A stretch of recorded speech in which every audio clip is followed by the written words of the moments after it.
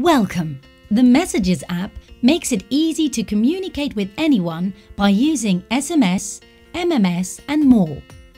It lets you send and receive messages, pictures, videos and audio to and from other phones or email addresses. In this video, we will show you how to adjust the font size. Navigate to Apps, tap Messages, tap the More icon Settings and then Font Size. Turn off the Use Phone Font Size switch.